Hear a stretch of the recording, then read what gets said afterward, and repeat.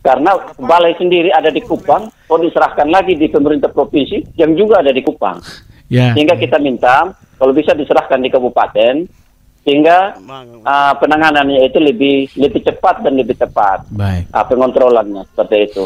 Baik. Dan itu di uh, ditanggapi secara positif oleh Pak Direktur Ya. dan akan dibicarakan lebih lanjut dengan uh, Direktur OP.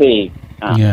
seperti itu, Bung Ya. Hin. Dan memang ya hampir ada kepastian bahwa satker OP pengelolaannya itu diserahkan di kabupaten. Ya, yang itu, yang Bung. yang pasti bahwa tahun depan sudah ada harapan ya Pak ya, Eh, bahwa Ya. ada tanda-tanda positif bahwa akan ada perbaikan untuk paling tidak di 48 hektar itu bisa apa ada Betul. bisa diatasi ya. Ah. Oke. Ya, termasuk itu juga jaringan Kabaniru maupun kan sekarang hampir semua ah, jaringan primer, sekunder dan tersier itu mengalami ah, banyak kerusakan Ya. karena memang semenjak dibangun tahun 1992 sampai dengan saat ini ah, bendungan itu belum pernah dilakukan ah, rehab berat maupun pengerukan-pengerukan sedimen. Oke. Ah, seperti itu. Ya, Baik. pemerintah pusat ini merupakan perhatian serius, apalagi dengan kedatangannya Pak Menteri kemarin kita Ya. sudah sampaikan berbagai permasalahan infrastruktur di Kabupaten Sumber Timur, termasuk ah, Bendungan Kabaniru ini Pak. Ya,